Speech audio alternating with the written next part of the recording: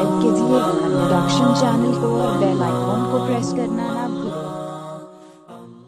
آپ دیکھ رہے ہیں مائی پروڈکشن قیامت کے دن سب سے زیادہ سخت عذاب میں وہ ماں باپ ہوں گے جو اپنی اولاد کی تربیت میں کوتا ہی کریں گے اولاد کو گناہ کرتا ہوا دیکھ کر نہیں روکیں گے قیامت کے دن سب سے زیادہ سخت عذاب میں وہی ہوں گے حضرت مولانا سبحان سبحان محمود صاحب رحمت اللہ علیہ نے اپنی ایک کتاب میں ضربیت اولاد میں اس بات کو نقل فرمایا، اس حدیث کی زمن میں کس طریقے سے ماں باپ سب سے بڑے گنہگار ہوں گے کہ بچپن سے اگر ماں باپ اپنے بچوں کی ٹھیک طرح تربیت نہ کرے انہیں گناہوں کا پر ملنے والا عذاب نہ بتائیں، انہیں گناہوں سے نہ ڈرائیں، انہیں اللہ کی نافرمانی سے نہ ڈرائیں، انہیں اللہ کی محبت نہ پلائیں، انہیں نبی کی محبت نہ سکھائیں، انہیں نیک نہ بنائیں، اور وہ اولاد نافرمانیاں کرتی جا رہی، ماں باپ دیکھتے جا رہے ہیں۔ خاموش بیٹھتے جا رہے ہیں، ان کو روکتے نہیں، ان کو ٹوکتے نہیں، انہیں ڈانٹتے نہیں، انہیں پیٹتے نہیں۔ بس محبت کے نام پر اپنی اولاد کے مستقبل کو برباد کر رہے ہیں۔ جب یہ جوان ہو جائیں اور گناہوں کا سلسلہ جاری رہے گا، جب شعور کو پہنچ جائے اور اللہ کی نافرمانی کریں گے، تو جہاں ان کو گناہ ہوگا، اولاد کی اس گناہ کا ووال ماں باپ کی کوتاہی کی وجہ سے ان کو بھی ملے اور آگے بڑھ کر مفتی عبد الرعوف صاحب سکھروی دامت برکاتہم نے اپنی کتاب پہ اس بات کو بھی نقل فرمایا کہ اگر ماں باپ انتقال کر جائیں اور اولاد کی تربیت نہیں کیا تھا، اولاد کے بگاڑنے کا ایک ذریعہ ماں باپ بھی بنے تھے، تو اولاد کے زندگی میں گناہ کرنے کے بعد ماں باپ خبر میں ہوں گے، ان کے اعمال نامے میں گناہ لکھا جائے اتنا سخت وبال ہے، اولاد کی تربیت کے نہ کریں اور کتنے لوگ ہیں جو اس جملے کو، اس سینٹنس کو بہانہ بنا کر یہ سمجھ کر بیٹھ چکے ہیں۔ بڑے اطمینان سے۔ ان کی پیشانی پر بل بھی نہیں آتا۔ ان کے بچوں کے بگاڑ کو دیکھ کر کہ نہیں جی ہم تو بہت سمجھاتے ہیں، بچہ تو نہیں سنتا، ہم کیا کریں گے؟ بول بول کر تھک چکے ہیں، اب کیا کریں گے؟ ارے وہ سمجھدار ہیں، وہ نہیں مانیں گے تو ہم کیا کریں گے؟ اسے عقل ہے، وہ تو بڑی ہو گئی، جوان ہو گئی، جوان ہو گیا۔ ہوش آ گیا، سب کچھ ہو گیا۔ ہم تو بول بول کے تھک گئے، نہیں سن رہے تو ہم کیا کریں گے؟ مفتی تقی عثمانی صاحب دامت برکاتہم نے قرآن مجید کی آیت کریمہ کی وضاحت کرتے ہوئے ارشاد فرمایا ہے کہ اللہ پاک نے آگ کا جو لفظ استعمال فرمایا او انفسکم نارا، جہنم سے اپنے اولاد کو اور اپنے آپ کو بچاؤ۔ اشارہ ہے اس بات کی طرف کہ کیسے بچاؤ اپنے اولاد کو جہنم کی آگ سے؟ جیسے آگ سے اپنی اولاد کو بچاتے اب سامنے آگ لگی ہوئی ہے۔ بچہ آپ کے پاس جا رہا ہے تو کیا کریں گے؟ کہ دیکھو بیٹا، وہاں آگ ہے، مت جاؤ جاؤ گے تو جل جاؤ گے۔ اب بول دیا، ذمہ داری ختم ہو گئی۔ اب بچہ آگ میں جا رہا تو کیا کرے گا باپ؟ دیکھ کر۔ ارے بھائی، جانے دو۔ میں نے تو سمجھا دیا کہ مت جا بیٹا، جل جائے گا، وہ جا رہا ہے۔ تو میں کیا کروں؟ ماں کہے گی کہ میں نے تو کہہ دیا تھا کہ آگ ہے بیٹی، مت جانا، لیکن وہ جا رہی ہے تو میں کیا کروں؟ کوئی عقل من انسان اور کوئی اپنی اولاد سے محبت کرنے والا ماں والی ماں یا باپ ایسا بالکل نہیں کریں گے کہ آپ کے سامنے بیٹا جا رہا ہے، بیٹی جا رہی ہے۔ دیکھ کر یہ کہہ کر خاموش بیٹھ جائے کہ میں نے تو سمجھا دیا تھا، اسے تو عقل ہے، اب وہ جا رہی ہے تو میں کیا کروں؟ بلکہ باپ ہوگا جو بے چین ہو جائے گا۔ ماں تڑپ اٹھے گی، آگے بڑھ کر، دوڑ کر، بھاگ کر، بچی کو پکڑ کر ہٹائے گی کہ بیٹا یہ آگ ہے یا بچہ بیٹے کو پکڑ کر باپ کھینچے گا کہ آگ ہے بیٹا نہ جانا، اس میں گرے گا تو جل جائے گا پھر جو تجھے نقصان پہنچ جائے گا۔ حضرت فرماتے ہیں کہ اللہ تبارک و تعالیٰ اشارہ دیتے ہیں، جیسے دنیا کی آگ سے تم پکڑ پکڑ کے اپنے بچوں کو بچاتے ہو، ایسے جہنم کی آگ سے اپنے بچے کو بچاؤ۔ ایسے بچاؤ اپنی اولاد کو۔ ایسے بچاؤ اپنے اہل خانہ کو جہنم کی آگ سے پکڑ پکڑ کر وہ نہیں رکتے، پھر بھی ان کو پکڑنا ہے۔ وہ نہیں بچتے، انہیں پیچھے بڑھ کر انہیں بچانا ہے۔ جیسے تم دنیا کی آگ میں اپنی اولاد کو گرتا ہوا نہیں دیکھ سکتے، جہنم کی آگ میں گرتا ہوا کیسے دیکھ سکتے؟ بہت سارے لوگ حضرت نو علیہ السلام کے واقعے کو بہانہ بناتے کہ دیکھیں جی قسمت میں اگر بچے کا بگڑنا ہوگا نا، تو وہ تو بگڑے گا۔ اب دیکھیں نا نو علیہ السلام کو، ان کا بیٹا کیا نافرمان نہیں تھا؟ انہوں نے کتنی محنت نہیں کی دی ہوگی؟ بھئی اس کی قسمت میں نہیں تھا۔ لہٰذا ہم بھی اپنے بچے کے پیچھے محنت کیے ہیں، لیکن وہ نہیں مان رہا تو ہم کیا کریں گے؟ بات تو بالکل صحیح ہے۔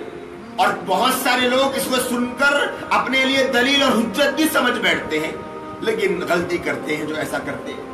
کیونکہ نو علیہ السلام نے نو سو سال تک محنت کی تھی اپنے بیٹے کے پیچھے۔ نو سو سال۔ اور آج کل ماں باپ کیا کر رہے ہیں؟ ایک بار بول دیا، دو بار بول دیا، تین بار بول دیا، بولے کہ چلو، میری ذمہ داری تو ختم ہو گئی۔ بیٹی نے کہہ دیا کہ دیکھو بیٹی جینس نہ مت پہن مت پہنو بیٹے، کتنے بار بولی نہیں پہننا؟ ایک بار بولے، دو بار بولے، اب بچی پہن رہی، بول بول کے تھک گئے مول صاحب، نہیں سن رہی تو کیا کرنا یہ ہیلا اور بہانہ نہیں چلے گا۔ اللہ کے یہاں نبی علیہ السلام نے فرمایا کہ لانت برستی ہے ایسی عورت پر جو مرد کا لباس پہنے۔ لانت برستی ہے ایسے مرد پر جو عورت کا لباس پہنے۔ بیٹے کو دیکھ رہے ہیں، کان چھدا کے کان میں بالیاں ڈال لیا ہے۔ ناک میں ناک چھدا کر ناک ناک لگا ناک میں لگا لیا ہے۔ اور گلے میں ہار پہن رہا، ہاتھوں میں کڑے پہن رہا۔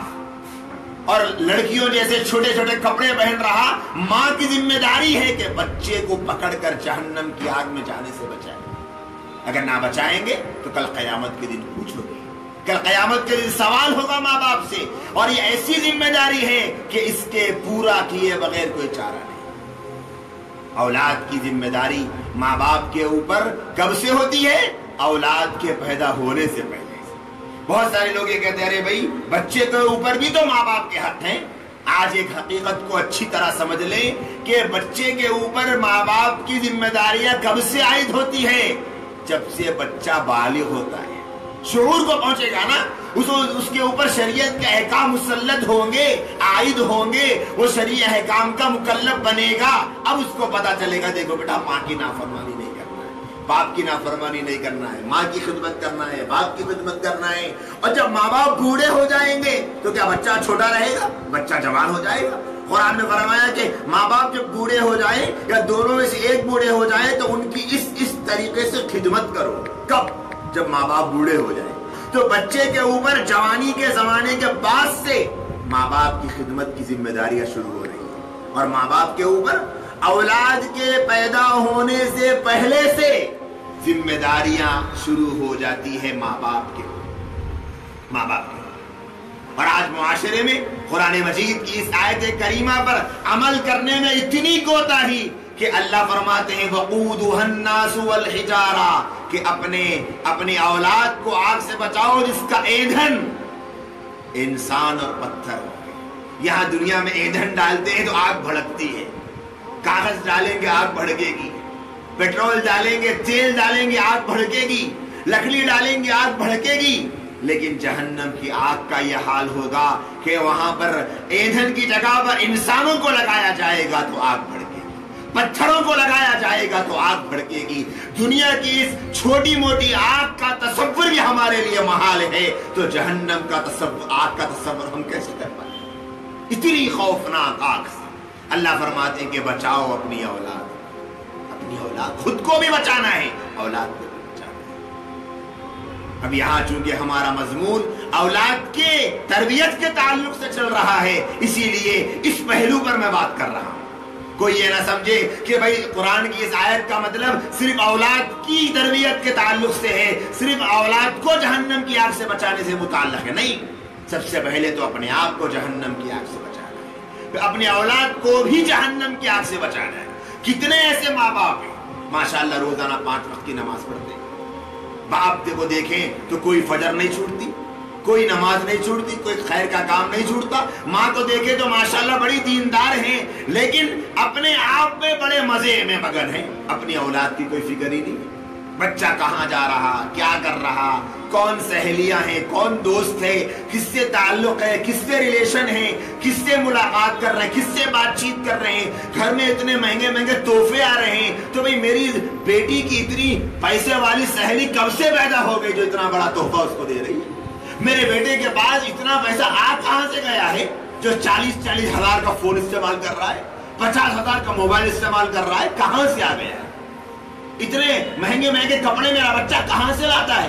اتنے قیمتی چپلے کہاں سے لاتا ہے؟ ماں باپ کو فکر نہیں کل قیامت کے دن پوچھنے والے اولاد کے تعلق سے سب سے بڑی ذمہ داری ماں باپ کے اوپر اولاد کی پیدا اس سے پہلے سے شروع ہو آپ تعجب کریں گے۔ میں خود حیرت میں ہوں کہ اس اس تربیت اولاد کے سیریز کے درمیان میں جن جن کتابوں کا اور جن جن اکابر علماء کے بیانات پڑھنے اور سننے کا موقع مل رہا، انتہا ہو چکی کہ جہاں کہیں کہ جس کسی عالم کی بات پڑھی اور سنی جائے، ہر کوئی اولاد کے تعلق سے زبان اور قلم استعمال کرتا ہے تو پہلے ماں باپ کی طرف توجہ کرتا ہے کوئی یہ نہیں بول رہا ہے کہ اولاد ماحول سے بگڑتی ہے، اولاد کے بگاڑ کا سب سے بڑا تعلق ماں باپ سے ہے، ماں باپ سے ہے، ماں باپ سے ہے، ہر کوئی یہ کہہ رہا ہے۔